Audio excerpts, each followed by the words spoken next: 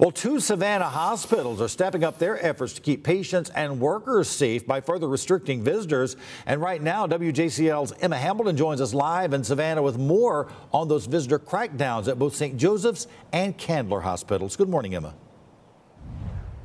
Hey, Chris, good morning. Yeah, that's right. Starting today, St. Joseph Candler will not be allowing any visitors on any of its inpatient units, outpatient services, or the physician office buildings. However, there are some exceptions to this, such as labor and delivery, outpatient surgery, and the emergency departments will be allowing one visitor per day per patient. Patients who are minors in the pediatrics or the neonatal ICU will also be allowed one parent to accompany them. All visitors that are are allowed in the hospital will, of course, be screened for COVID 19 symptoms. Security and the clinical screening team will continue to be at the front lobbies of each public entrance at the hospital locations in Pooler, Buckwalter, and the Nancy N. and J.C. Lewis Cancer and Research Pavilion. The hospital will also begin checking patients' temperatures at the Lewis Cancer and Research Pavilion locations, the Heart and Lung Building, and the professional office buildings. Hospital officials say they may expand these changes to other entrances at a later date date.